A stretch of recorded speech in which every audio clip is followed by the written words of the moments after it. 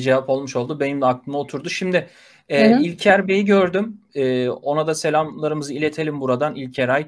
E, demiş ki bakanlığa verilen e, iyi akşamlar dilerim. Bakanlığa verilen dosya e, Mehmet Ali Çelik Bey'in Facebook sayfasında yayınlandı. Merak edenler oradan bulabilir demiş. Sizden bir özet alalım. Ne yayınlandı o dosyada? Az buçuk hani söylediniz ama şimdi merak eden izleyicilerimize bir özet niyetinde sunarsanız sevinirim.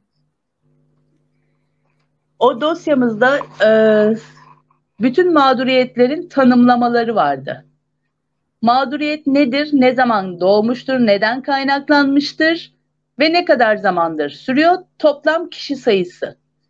Ee, bunu biz bütün e, mağduriyetler için yaptık.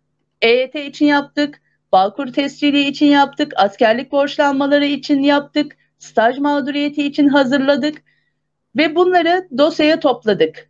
Bundan arkasına e, yaptığımız biliyorsunuz çalıştaylar vardı. Çalıştaylardan bizim e, kazanımlarımız, arkadaşlarımızdan gelen öneriler, onların sordukları sorular bunları ekledik. Bunun arkasına bizim çözüm önerilerimizi ekledik. Ee, az önce yayının başında da saymıştım ya. EYT için 99 öncesi iş akdimizin uygulanmasını istiyoruz. Staj mağduriyetin SSK başlangıcı olsun istiyoruz. Kadınlarda doğum borçlanmasının sayılmasını istiyoruz. Askerlik borçlanmalarının, okul borçlanmalarının, emniyet güçlerimizde bunların çözümlenmesini istiyoruz. Gibi başta hepsini saydıklarımı dosyamıza bu şekilde de bunları biz ne istiyoruz? Çözüm önerileri adı altında da bunları toparladık. Ve o dosyamızı bütün e, grup başkan vekillerine ve sayın bakanımıza da orada takdim ettik. Ayrıca da bunların sunumlarını yaptık. Yani biliyorsunuz e, görsellik insanın aklında daha kalıcı oluyor.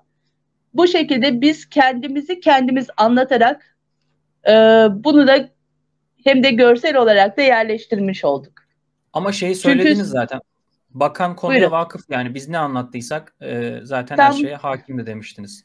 Kesinlikle tam onu söyleyecektim. Biz Sayın Bakanımızla 2019'da Çankaya Köşkü'nde de görüşmüştük. Bunu daha öncesinde de dile getirmiştim zaten.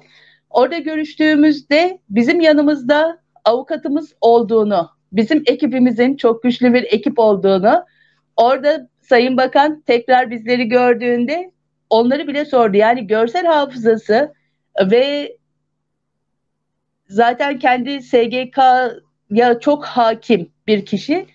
Bu konularda da o yüzden ben hep bunu söylüyorum zaten. Sayın Vedat Bilgin'in Çalışma Bakanı olması bizler için çok büyük e, bir pozitiftir.